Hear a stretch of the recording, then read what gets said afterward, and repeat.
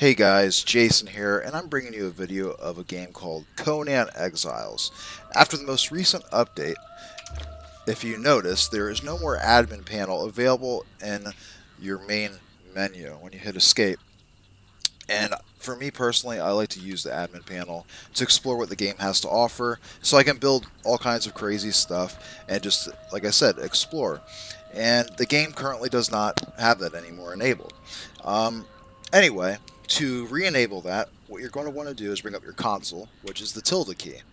See? And next, you're going to type in make me admin.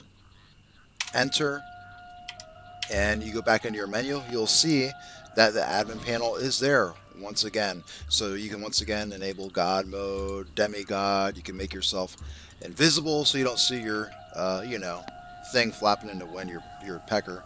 Um, anyway, you can pick all this stuff, all this gear, you just click on it and it'll just go right into your menu, your building and all that stuff. So, and if you didn't know about that to begin with, then here you go. So now, like I said, you could do so much with it. You could build like the craziest shit and all that if you just want to mess around um, and do creative stuff. So I hope that. Oh my God, kicking? Are we kicking?